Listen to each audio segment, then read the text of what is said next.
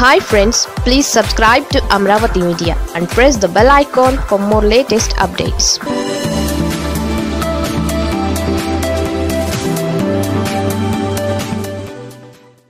పదిహేడవ తేదీ తర్వాత టీడీపీలో ఏం జరగనుంది? టీడీపీకి ఏదీ కలిసి రావడం లేదు. షాకులపై షాకులు తగులుతూనే ఉన్నాయి. రెండు వేల పంతొమ్మిది అసెంబ్లీ ఎన్నికలలో ఓటమి దగ్గర నుంచి ఆ పార్టీ విజయం రుచి చూడడం మర్చిపోయింది. వరుస ఓటములు పార్టీ ఉనికిని ప్రశ్నార్థకం చేస్తున్నాయి. పార్టీలో గ్రూప్ తగాదాలు పెరిగాయి. సీనియర్ నేతలు ప్రస్తుతం చంద్రబాబు మాటను పట్టించుకునే పరిస్థితి లేదు. అధిష్టానం ఒకటంటే పార్టీ నేతలు మరో మాట అంటున్నారు. ప్రతి జిల్లాలో ధిక్కార స్వరాలు పెరిగాయి. అసలు పార్టీలో ఉన్నది ఎవరు లేనిది ఎవరు తేల్చుకోలేని పరిస్థితి నెలకొంది. నాలుగు వైపులా నష్టాలు తరుముకొస్తున్న వేళ తిరుపతి ఉప ఎన్నికలో నెగ్గి పార్టీని నిలబెట్టాలని చంద్రబాబు నాయుడు ఆరాటపడుతున్నారు.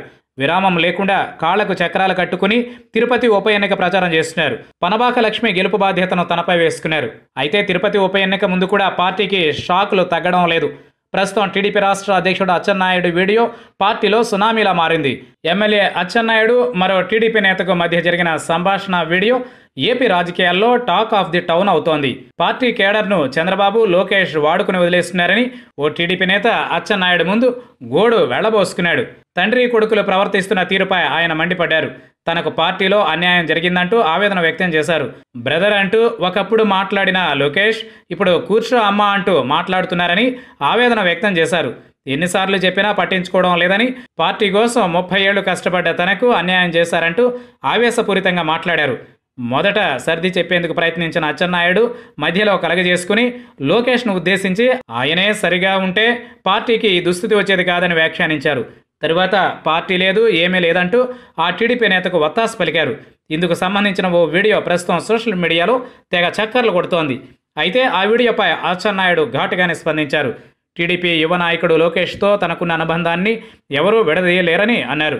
తిరుపతి ఉప ఎన్నికలో అధినేత చంద్రబాబు నాయుడు నాయకత్వంలో ఐకమత్యంతో పనిచేస్తున్నామని జగన్కు ఓటమి భయం పట్టుకుందని అందుకే ఇలాంటి అబద్ధపు వీడియోలను ప్రచారం చేస్తున్నారని మండిపడ్డారు.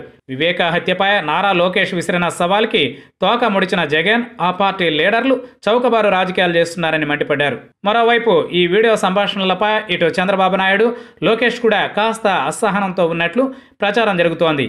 లోకేష్ తనతో సన్నిహితంగా ఉండే లీడర్ల దగ్గర ఆ వీడియో ప్రస్తావన తెచ్చినట్లు సమాచారం. తిరుపతి ఉప ఎన్నిక తరువాత ఆ వీడియో సంగతి తేలుద్దామని అన్నట్లు తెలుస్తోంది. అసలు అచ్చెన్నతో ఆయన మాట్లాడేందుకు ప్రస్తుతం ఇష్టపడడం లేదని టీడీపీలో ప్రచారం జరుగుతోంది. ఈ ప్రచారాల సంగతి ఎలా ఉన్నా అచ్చెన్నాయుడు వీడియోపై వైసీపీ నేతల ట్రోల్స్ మాత్రం ఆగడం లేదు.